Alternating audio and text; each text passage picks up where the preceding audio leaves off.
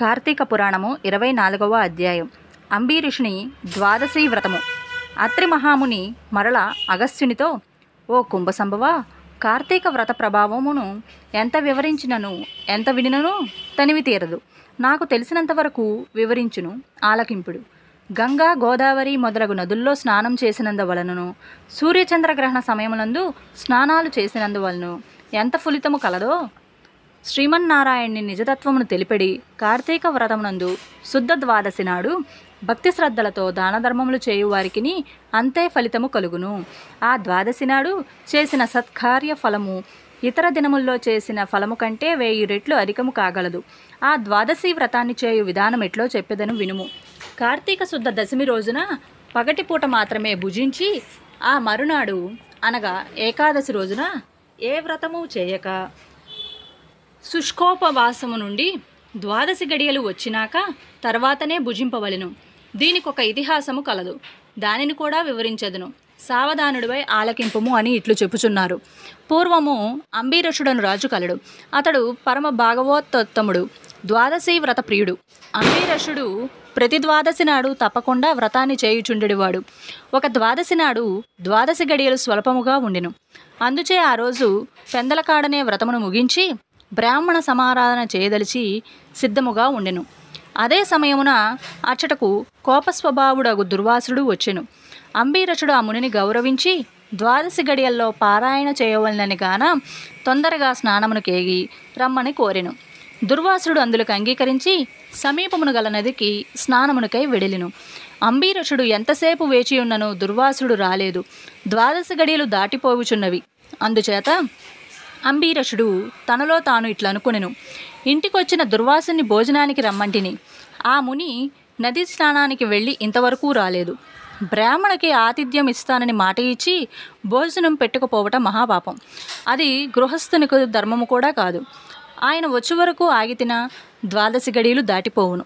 వ్రతభంగం అగును ఈ ముని మహా కోప స్వభావం గలవాడు. ఆయన రాకుండగా నేను భుజించినా నన్ను శపించును. నాకేమీ తోచుకున్నది. బ్రాహ్మణ భోజనం అతిక్రమించరాదు. ద్వాదశి గడియలు మించిపోకూడదు. గడియలు దాటిపోయిన పిదప భుజించిన ఎడల హరిభక్తిని వదిలిన వాడు నగుదును. ఏకాదశి నాడున్న ఉపవాసం నిష్ఫలమగును. ద్వాదశి విడిచి భుజించిన భగవంతునకు భోజనం చేసిన దుర్వాసనకు కోపం వచ్చును. అదియునుగాక ఈ నియమమును నేను అతిక్రమించిన ఎడల వెనుకటి జన్మయందు చేసిన పుణ్యములను నశించును. దానికి ప్రాయశ్చిత్తం లేదు. అని ఆలోచించి బ్రాహ్మణ శాపమునకు భయము లేదు. ఆ భయమును శ్రీ మహావిష్ణువే పోగొట్టగలడు. కావున నేను ద్వాదశి గడియల్లో భోజనం చేయుటయే ఉత్తమం. అయినను పెద్దలతో ఆలోచించుట మంచిదని సర్వజ్ఞులైన కొందరు పండితుల్ని గావించి వారితో ఇట్లు చెప్పెను. ఓ పండిత శ్రేష్ఠులారా నిన్నటి దినమున ఏకాదశి అగుటం చేసి నేను కటిక ఉపవాసము ఉంటిని. ఈ దినమున స్వల్పముగా మాత్రమే ద్వాదశి గడియలున్నవి. ద్వాదశి గడియల్లోనే భుజించవలసి ఉన్నది. ఇంతలో నా ఇంటికి దుర్వాస మహాముని విచ్చేసిరి. ఆ మహాముని నేను భోజనమునకును ఆహ్వానించి తిని అందులకు ఆయన అంగీకరించి నదికి స్నానార్థమై వెళ్ళి ఇంతవరకును రాకుండెను. ఇప్పుడు ద్వాదశి గడియలు దాటిపోచున్నవి. బ్రాహ్మణుని వదిలి ద్వాదశి గడియల్లో భుజింపవచ్చునా? లేక వ్రతభంగమునకు సమ్మతించి ముని వచ్చే వరకు వేచి ఉండలేనా? ఈ రెంటిలో ఏది ముఖ్యమైనదో తెలపవలసిందని కోరెను.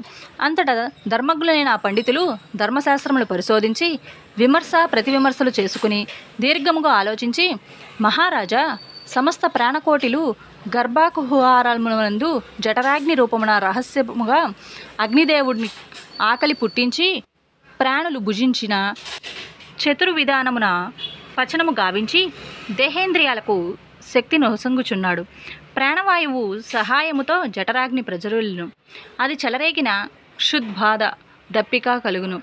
ఆ తపం చల్లార్చవలనన్న అన్నం నీరు పుచ్చుకుని శాంతపరచవలను. శరీరమునకు శక్తి కలుగుజేయవాడు అగ్నిదేవుడు. దేవతలందరికంటే అధికుడై దేవపూజ్యుడైనాడు. ఆ అగ్నిదేవునందరూ సదా పూజించవలను. గృహస్థు ఇంటికి వచ్చిన అతిథి కడజాతివాడైనను భోజనమిడుదునని చెప్పి వానికి పెట్టకుండా తాను భుజించటం వలన మహాపాపం కలుగును. అందువలన ఆయుక్షీణం కూడా కలుగును. దుర్వాసుడు అంతటి వానిని అవమానం వరించిన పాపం సంప్రాప్తమగును అని విశదీపరిచును. చతుర్వింశ అధ్యాయం ఇరవై నాలుగవ రోజు పారాయణం సంపూర్ణ.